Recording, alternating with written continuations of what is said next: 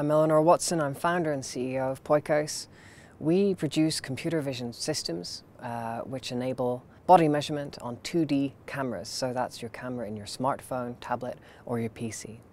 We recognize that our technology can be applied in so many different ways, ways we actually could not have even imagined before people came and approached us and said, wow, this is great, we want to use it for X, we want to use it for Y. And we're like, wow, that's really interesting. We've had people contact us wanting to create an app for people with anorexia.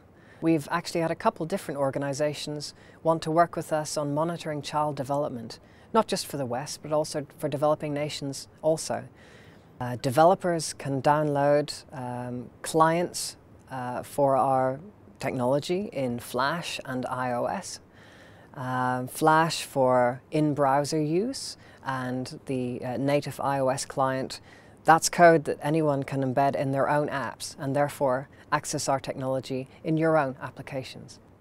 Our technology, what we've created, it's bigger than we could ever have originally imagined. You know, we set out to create a system to aid mass customization. Um, and we've ended up creating a technology which may end up being the largest crowdsourced research platform in history.